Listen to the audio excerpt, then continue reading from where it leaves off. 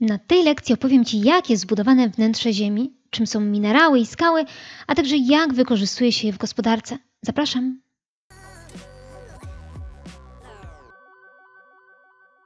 Dzięki przeprowadzonym badaniom sejsmicznym wiemy, że wnętrze Ziemi składa się z trzech głównych warstw, a jest to jądro, płaszcz Ziemi i skorupa ziemska. Każda z warstw różni się stanem skupienia materii, temperaturą, a także masą. Zacznijmy od jądra, które stanowi aż 31% masy całej planety.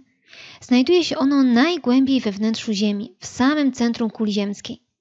Naukowcom udało się ustalić, że składa się ono z dwóch części. Jądra wewnętrznego, które ma cechy ciała stałego, a jego temperatura sięga ponad 6000 stopni Celsjusza. I jądra zewnętrznego o właściwościach ciała ciekłego i temperaturze w granicach 4500 stopni Celsjusza. Taka budowa jądra Ziemi, a zwłaszcza ruch jego płynnej części, odpowiadają za wytworzenie ziemskiego pola magnetycznego. Kolejna warstwa to płaszcz Ziemi. Jest to warstwa najgrubsza i najbardziej masywna. Stanowi około 68% masy naszej planety. Tu także możemy wyróżnić dwie zasadnicze części. Płaszcz dolny, który ma właściwości ciała plastycznego, a jego temperatura to około 3000 stopni Celsjusza i płaszcz górny mający znaczną plastyczność, ale o wiele niższą temperaturę, czyli około 1600 stopni Celsjusza. Między gorącym jądrem a znacznie chłodniejszym płaszczem dochodzi do stałej wymiany ciepła.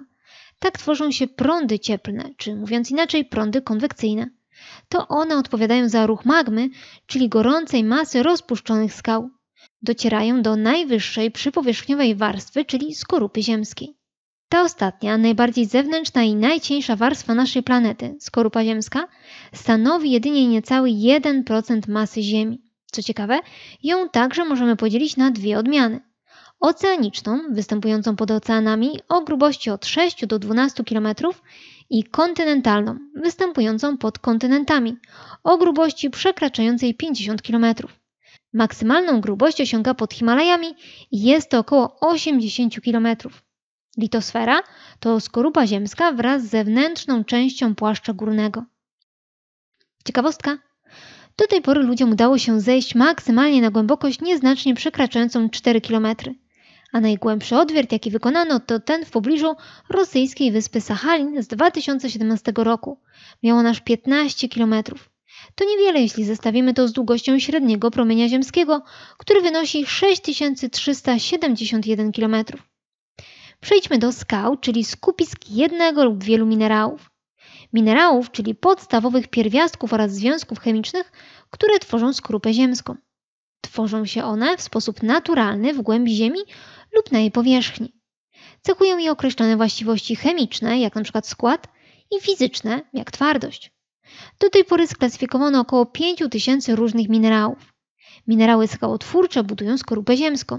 Jest ich niemal 100. Są to m.in. mika, skaleń, magnetyt, oliwin czy kwarc. Inne minerały są rzadkie, a przez to bardzo cenne. Część minerałów to tzw. Tak kamienie szlachetne, do których zaliczamy diamenty, szmaragdy, szafiry czy rubiny. Skały możemy podzielić przyjmując za kryterium ich genezę, czyli pochodzenie. Będziemy mieć zatem skały magmowe, osadowe i metamorficzne. Zacznijmy od skał magmowych. Możemy je podzielić na skały głębinowe, mówiąc inaczej plutoniczne. Tworzą się one w wyniku powolnej krystalizacji magmy głęboko pod powierzchnią Ziemi. Przykładem takiej skały jest gabro lub granit. W jego budowie widać poszczególne minerały, m.in. jasno-szary kwarc. Są też skały wylewne, czyli wulkaniczne. Tworzą się one z lawy, która zastyka na powierzchni Ziemi przy kontakcie z chłodnym powietrzem. Przykłady to andezyt lub bazalt, które tworzą mikroskopijne minerały o ciemnej barwie. Przejdźmy do skał osadowych. Możemy je podzielić na skały okruchowe, które tworzą się na skutek nagromadzenia w morzu lub na lądzie okruchów skalnych pochodzących z niszczenia innych skał. Mogą mieć postać luźnych ziaren, jak w przypadku piasku, złożonego z niewielkich ziaren kwarcu lub żwiru. Lub mogą przyjmować postać skał zwięzłych, jak np. piaskowiec czy zlepieniec. Skały osadowe mogą mieć pochodzenia chemicznego, czyli tworzą się na skutek odparowania roztworu z płytkich zbiorników wodnych. W ten sposób otrzymuje się gips czy sól kamienną. I w końcu skały osadowe mogą być pochodzenia organicznego, co oznacza, że powstają w wyniku nagromadzenia się obumarłych szczątków roślin i zwierząt. Wymienię tu chociażby węgiel kamienny, węgiel brunatny, torf czy wapienie, które powstają w wyniku nagromadzenia się muszli i szkieletów wapiennych zwierząt na dnie morza. Ostatnie są skały metamorficzne, czy mówiąc inaczej przeobrażone. Powstają pod wpływem oddziaływania wysokiej temperatury oraz dużego ciśnienia na istniejące już skały magmowe lub posadowe. Przykłady to gnejs, który powstaje najczęściej w wyniku przeobrażania się granitu, co charakterystyczne, na powierzchni ma on ciemne smugi, czy marmur, który powstaje z wapieni.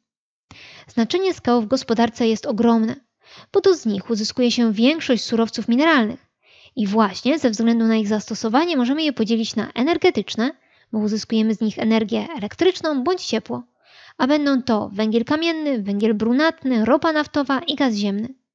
Surowce metaliczne to zwykle metale występujące w skałach nazwane rudami, np. rudy żelaza, rudy miedzi, rudy cynku i ołowiu, czy metale szlachetne, jak złoto, srebro, platyna. Przykładowo, rudy żelaza służą do produkcji stali, a z niej tworzy się elementy konstrukcyjne różnych budowli. Z miedzi produkuje się urządzenia elektryczne jak silniki i elektroniczne jak procesory, ale też pokrycia dachowe i instalacje grzewcze i wodociągowe. Z ołowiu produkuje się baterie, rury, amunicje i farby. A cynk wykorzystuje się do ochrony powierzchni metalowych przed korozją. Mamy także surowce skalne, takie jak żwir, piasek, glina, granit, bazalt, gips czy wapień. Wykorzystuje się je w budownictwie jako budulec. Przykład piasek jest składnikiem zaprawy murarskiej lub jako surowiec do produkcji materiałów budowlanych. Przykład z wapieni produkuje się cement. W końcu mamy także chemiczne surowce mineralne, takie jak ropa naftowa, węgiel brunatny, węgiel kamienny, sól kamienna, siarka czy fosforyty. Zauważ, że niektóre surowce energetyczne są jednocześnie surowcami chemicznymi. Przykładowo z ropy naftowej można pozyskać benzynę i smary, a także po przetworzeniu surowce do budowy dróg, jak asfalt, czy do produkcji tworzyw sztucznych, jak opakowania i opony, ale też kosmetyki, lekarstwa czy materiały wybuchowe. Węgiel kamienny także ma szerokie zastosowanie. Produkuje się z niego tworzywa sztuczne, barwniki czy lekarstwa. Duże znaczenie ma też sól kamienna, wykorzystywana w przemyśle spożywczym, chemicznym, w drogownictwie do posypywania ulic czy w lecznictwie uzdrowiskowym. Zapamiętaj najważniejsze.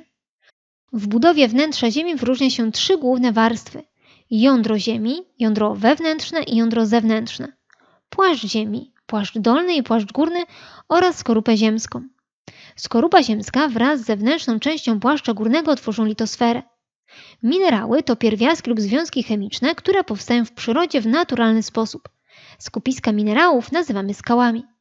Ze względu na genezę wyróżnia się trzy grupy skał: magmowe, głębinowe, np. granit i wylewne, np. bazalt. Osadowe, okruchowe, np. piasek, chemiczne, np. sól kamienna i organiczne, np. wapienie. Metamorficzne, przeobrażone, np. gnejs, marmur.